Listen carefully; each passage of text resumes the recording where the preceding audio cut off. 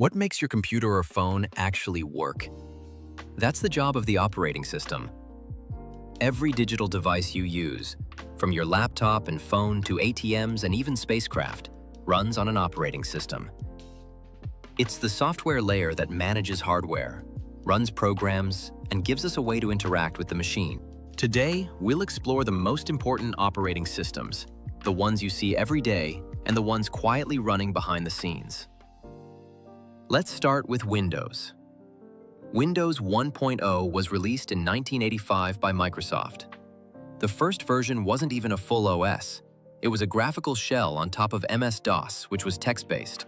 The real breakthrough came with Windows 95, which introduced the Start menu, taskbar, and plug-and-play support for hardware. Windows kept growing and changing with each release. Windows XP, stable, beloved, and still running on some dusty old Office PCs today. Windows Vista. Let's just say people try to forget this one. Windows 7. Fast, clean, and a favorite for years. Windows 8 and 8.1. Microsoft tried to reinvent the wheel with tiles and touch features. But most users just wanted their classic Start menu back. Windows 10 brought stronger security, better performance, and became the standard for millions of PCs worldwide. Windows 11 introduced a modern design with rounded corners, a centered start menu, and new features aimed at productivity and gaming. Why is Windows everywhere? Compatibility. It runs on nearly any PC brand and can handle gaming, office work, or development. Windows shines with its huge software library, broad hardware support, and it's often considered the best choice for gaming. But it also comes with higher hardware demands over time, frequent updates that can sometimes disrupt work, and because of its popularity, it's the biggest target for malware. Next, Apple's exclusive system, Mac OS. Introduced in 2001 only for MacBooks and iMacs, Unlike Windows, macOS only runs on Apple hardware, like MacBooks and iMacs. Apple's tight control over both hardware and software makes macOS stable and smooth. It's highly optimized, which is why MacBooks can offer long battery life without sacrificing performance. Plus, the Apple ecosystem makes life easy. Your iPhone, iPad, and Mac sync messages, calls, and files seamlessly. It's popular with creative professionals, thanks to tools like Final Cut Pro for video editing, Logic Pro for music, and built-in apps like GarageBand. On the downside, Apple's machines are expensive, not exactly ideal for gaming, and some professional software is either missing or limited. But not everyone wants Windows or Mac. That's where Linux steps in. Linux was created in 1991 by Linus Torvalds. It's open source, meaning anyone can view, modify, and distribute it freely. It's not one OS, but a family of distributions, or distros. Popular desktop ones include Ubuntu, Fedora, and Mint. Server-focused ones include Debian, CentOS, and Red Hat Enterprise Linux.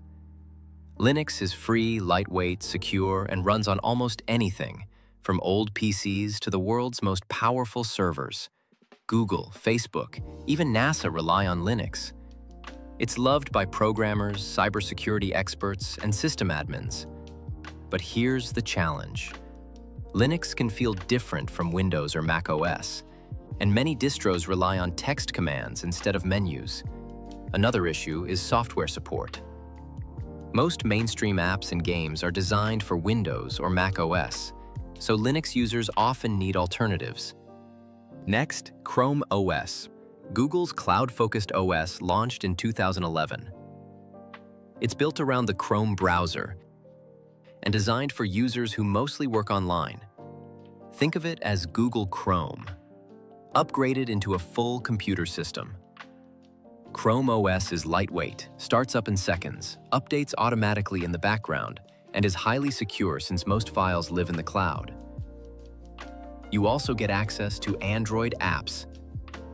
Chrome OS is common in education and offices that rely on Google Workspace. Still, without the internet, it feels very limited.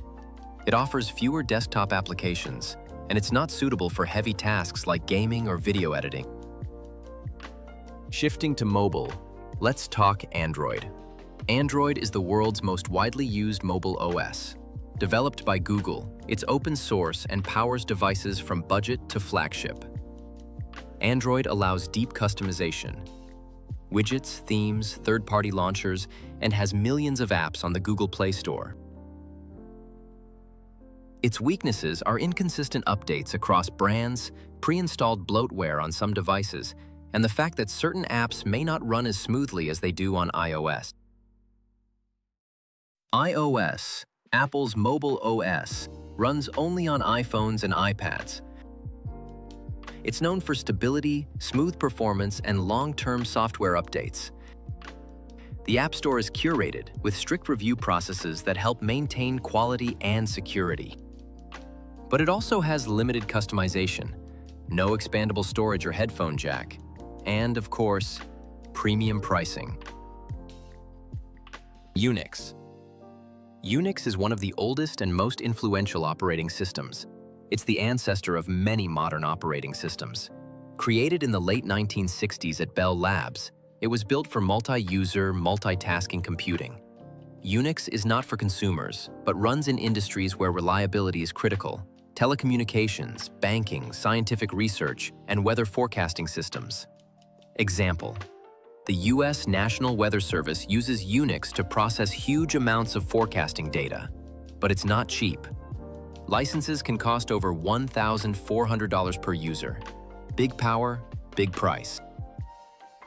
BSD, Berkeley Software Distribution. A direct child of Unix, BSD was developed at the University of California, Berkeley in the 1970s as a variant of Unix. Not designed for everyday laptops, but for servers, networking, and embedded systems. Today, BSD systems power PlayStation consoles, Netflix's content delivery network, and secure firewalls like pfSense and OPNsense. BSD comes in versions like FreeBSD, OpenBSD, and NetBSD. Efficient and reliable, but mostly working quietly behind the scenes. Bonus round, lesser-known operating systems. Some operating systems don't get much attention, but they play important roles.